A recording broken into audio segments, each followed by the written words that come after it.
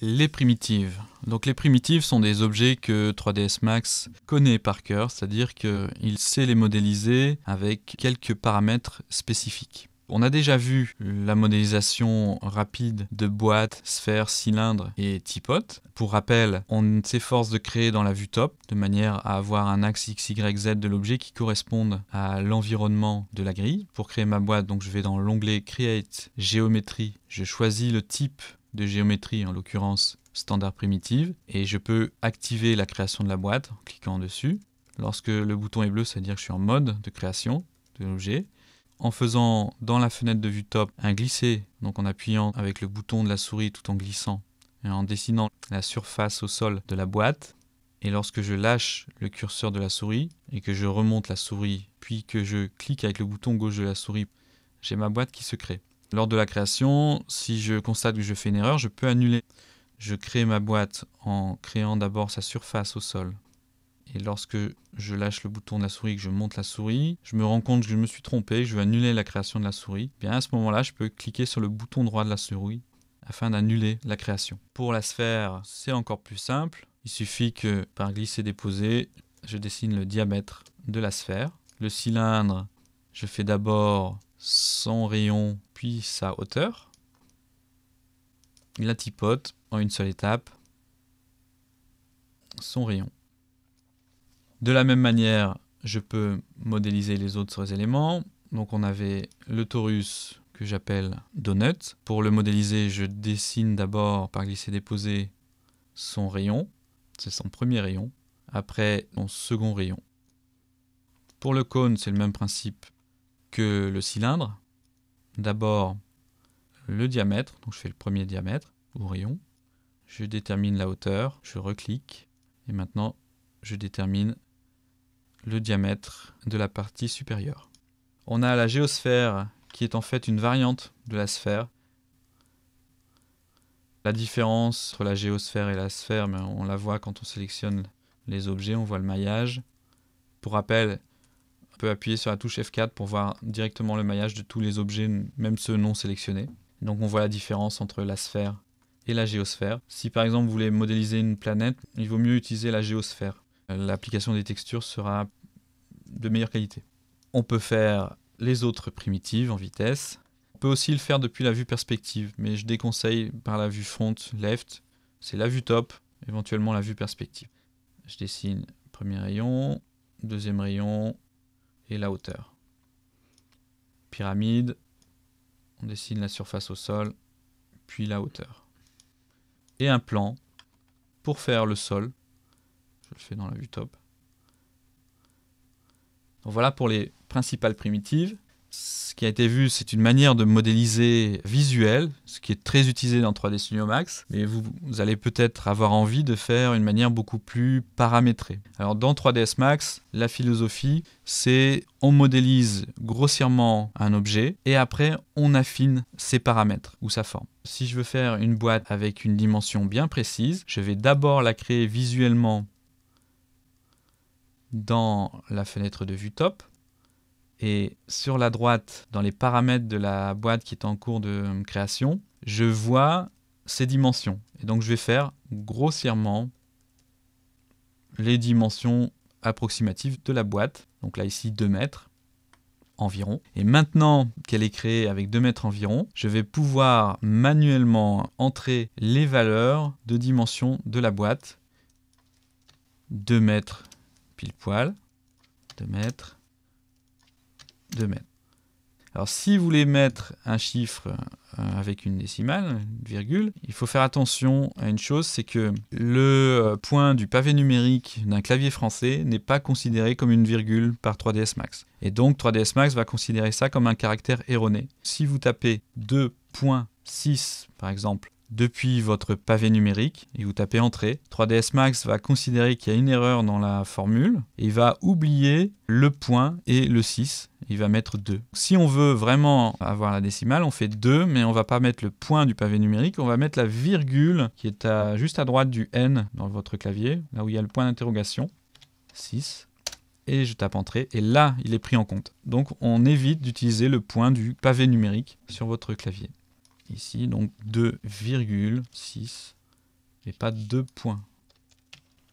Donc dans les paramètres de la boîte, on en a d'autres, notamment le nombre de segments pour euh, chacun de ces paramètres. Je peux mettre trois segments et donc augmenter le détail de l'objet. Sur une boîte, ça ne va pas augmenter la qualité de l'objet. Par contre, sur une sphère ou une théière, ça va être beaucoup mieux si on augmente le nombre de segments. Ici, on est toujours en mode création de notre euh, boîte. On est toujours dans l'onglet Create. On peut changer les paramètres de la boîte. Mais ce qu'il faut faire attention, c'est que si par exemple je sélectionne autre chose que la boîte, qu'après je retourne sur la boîte, je n'ai plus accès à ces paramètres de réglage dans l'onglet Create. Parce que la philosophie de 3ds Max, c'est on crée d'abord un objet et une fois qu'on l'a créé, si on veut le modifier, eh on doit passer par l'onglet Modify. Les paramètres qui ne sont plus disponibles dans l'onglet Create, parce que ici Create c'est pour créer des objets, pas pour les modifier. Si je veux modifier ma boîte, je vais devoir passer par l'onglet Modify et là je vais retrouver les paramètres correspondants à ma boîte et pouvoir les modifier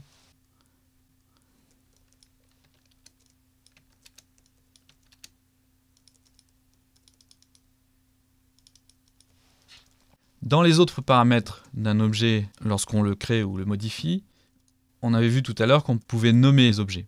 Par défaut, une boîte va s'appeler boîte et après un numéro. Il faut savoir que dans une scène, si vous créez plusieurs boîtes et après vous les modifiez pour créer différents éléments d'un objet, par exemple une table, chaque élément va s'appeler box avec un numéro et c'est pas évident de les retrouver lorsqu'on va faire le raccourci H pour voir la liste des objets et sélectionner tel ou tel objet correspondant euh, à telle modélisation que vous voulez créer ce qu'on va faire, c'est qu'à chaque fois qu'on crée un objet, on va prendre le réflexe de changer le nom par défaut. Donc cette box, ben, si par exemple je veux que ce soit un pouf, ben, je vais l'appeler pouf. Et je vais mettre un numéro derrière au cas où j'aurai plusieurs poufs dans ma modélisation.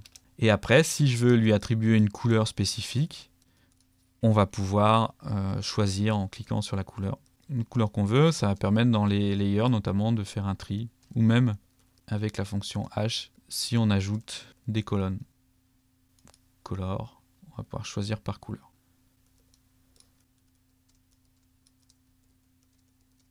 Je reviens au paramètre d'origine. Donc voilà pour le principe de création, on va dire semi-manuel. Donc je crée d'abord l'objet grossièrement et après je définis son diamètre. Donc je crée ma sphère et je définis son rayon. Je veux que ça fasse un rayon de 2, donc un diamètre de 4. Et je vais pouvoir augmenter le nombre de segments pour augmenter la qualité du maillage et j'ai accès à d'autres paramètres qui sont spécifiques à chacun des objets. En l'occurrence, on a par défaut une sphère qui est lissée. Lorsque je fais un rendu, elle est parfaitement lissée. Et si je désactive Smooth, là on aura plutôt une boule à facettes. Surtout si je diminue le nombre de segments.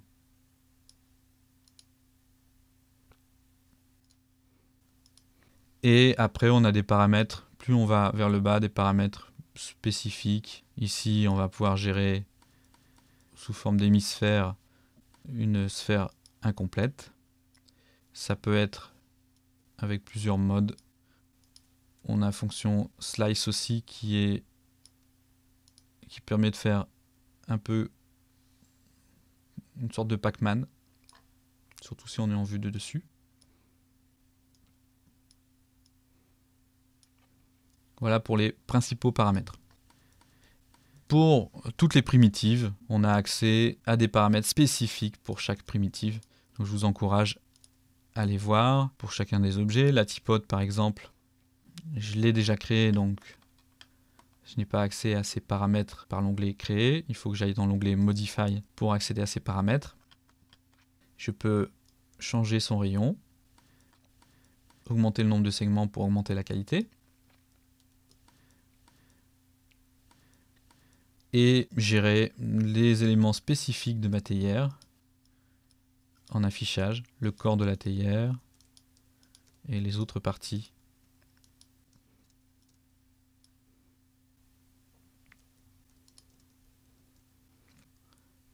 Plus on a de segments, plus on a de faces, et meilleure la qualité d'affichage de l'objet, et notamment dans les arrondis. Mais ça a un inconvénient, c'est que ça va nécessiter plus de puissance, notamment en affichage de prévisualisation, ça sollicite plus la carte graphique, et aussi en rendu, le temps de rendu sera plus long, plus on a des détails. Ce qu'on va éviter de faire, c'est d'augmenter trop le nombre de segments. Une règle à connaître, c'est que si l'objet devient totalement blanc, c'est qu'a priori, on a un peu trop poussé le détail, le nombre de polygones, donc de segments. Il est plus raisonnable d'en mettre moins. Ici, on a un résultat avec 18 segments euh, qui est assez qualitatif.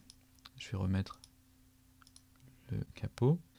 Et on ne verra pas la différence avec 50 segments, si ce n'est en temps de rendu, où ça va mettre un peu plus de temps. Donc toujours cette notion d'optimisation du nombre de polygones pour que vous ayez un ratio euh, qualité d'affichage et nombre de polygones qui soit cohérent. On a aussi une autre manière euh, ultra précise de créer un objet. Pour ça, par exemple, je vais appliquer ça au tube. Je sélectionne dans la vue dans laquelle je veux créer. Et en fait, on a un panneau déroulant Keyboard Entry qui permet de créer juste avec des paramètres un objet. Je vais définir ses coordonnées XY, donc la position par rapport à ma scène. Si je mets 0, 0, ce sera ici. Et je définis